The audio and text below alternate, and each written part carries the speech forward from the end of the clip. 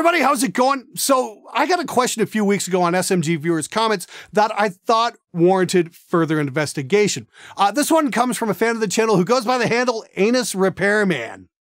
Cheap tube head, expensive cabinet, or expensive tube head, cheap cabinet? Now, like I said, I thought that was a great question. Uh, I gave an answer based on my experience, but not on an actual shootout, where I said, you know, my Peavey Windsor sounded great going into my Mesa cabinet. But I've never actually plugged one of my really expensive tube heads into a really cheap cabinet before. You know, a lot of guitar players will talk out of their asses without actually backing anything up with evidence. So I figured, you know, I don't want to be like that. I actually want to, you know, put my money where my mouth is. So what I've done is I've assembled four critical pieces of gear.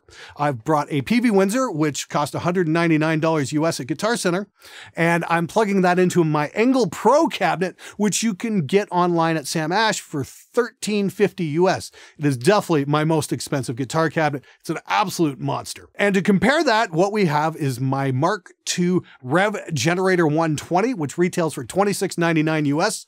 It is the ultimate monster heavy metal recording amp, and I'm plugging that into a broke ass Behringer 4x12.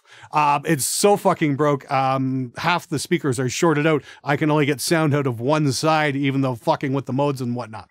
Uh, you can get a Behringer cabinet for 150 bucks, 200 bucks used on eBay. The one I have, you'd be lucky if you could get it for 50 bucks, like I said, because half of it's shorted out. Okay, first up, let's take a look at Chris Rafinsky playing some chords.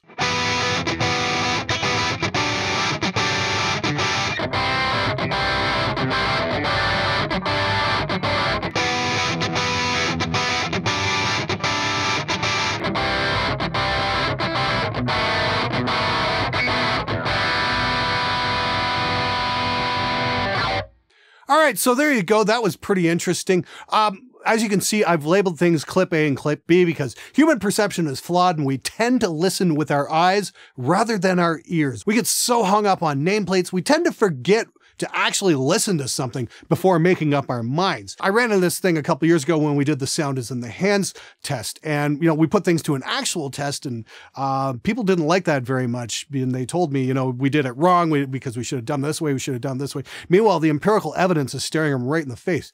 Clarity is in the hands, but the tone is definitely in the gear. Anyway, let's check out what happens when we run these setups with some clean guitars.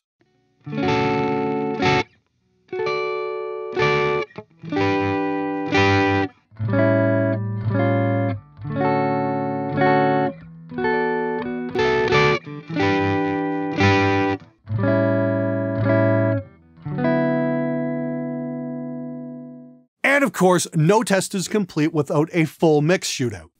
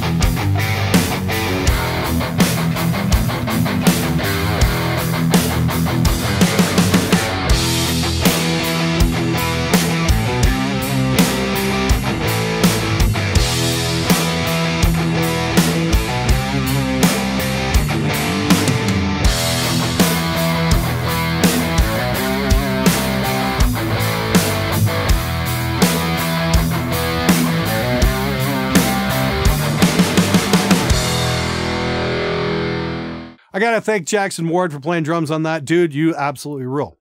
You know, we got some pretty interesting results with that video. It wasn't quite what I expected. And uh, in a lot of these shootouts, it never is quite what I expected because, you know, we've all got our preconceptions and our prejudices, but it's one thing to think you know how something will turn out. It's another thing to actually put one thing against another in a direct comparison and listen to the results with your own ears. Anyway, I made some conclusions here. However, I don't think my opinion matters all that much in this video. I think your opinion matters. And I want you guys to tell me, what do you think sounds better? Did you think clip A sounds better? Or did you think clip B sounds better? Hope you found the video useful. If you did, please hit the subscribe button. I've got many more tests like this coming up. I'm out of here. Hey guys, thanks so much for watching this episode. If you like the content, please support the channel either at my SMG shop or through my Patreon. If you want to see more, hit one of the playlists. Thanks for watching. I'm out of here.